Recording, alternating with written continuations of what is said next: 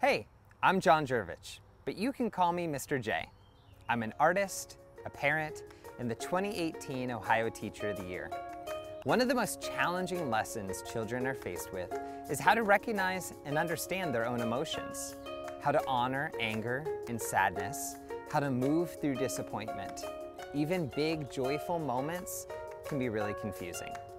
In study after study, kids who can name their feelings are more confident and successful at school and at home. In my professional life, it's called social emotional learning. But as a parent, even I struggle with teaching my kids how to name their feelings in ways they understand. That's where I hope the series Drawing with Mr. J comes in. Drawing is a great way to start the conversation. In this series, I take kids through a series of drawing challenges that are fun, quick, and easy. We start with the challenge of the day. Then we ask questions about how our faces may express emotions. Then I get to share what emotions may feel like in our bodies. You can use this series to talk with your children. Set aside some quiet one-on-one time.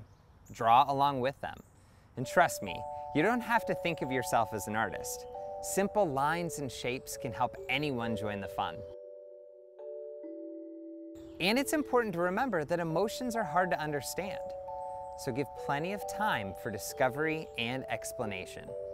Don't forget that you should share with your children personal examples of your own emotions and how you worked through them.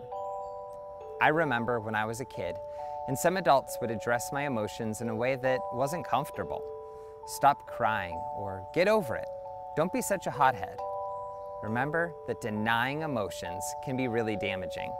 Let your children know that emotions are an important way of understanding our world, and no matter what, you'll process them together. Holding space for emotions is important, and planning a way to understand them is key.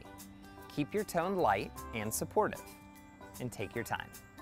Remember, the stronger the emotion, the more confusing it might be to feel it and name it, especially if there's more than one emotion involved. Use drawing as a tool to explore all kinds of feelings. Post them all over your house to keep the conversation going. Once you start, you'll be surprised how easy it is to just keep talking about what's going on inside.